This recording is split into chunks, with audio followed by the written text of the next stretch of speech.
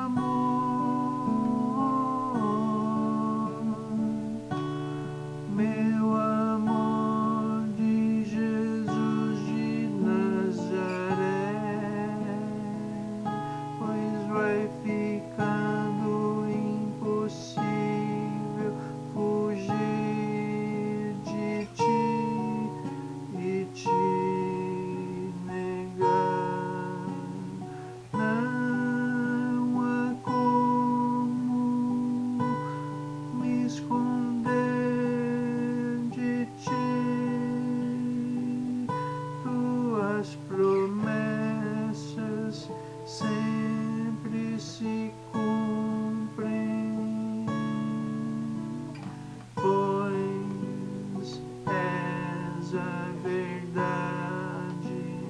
e o meu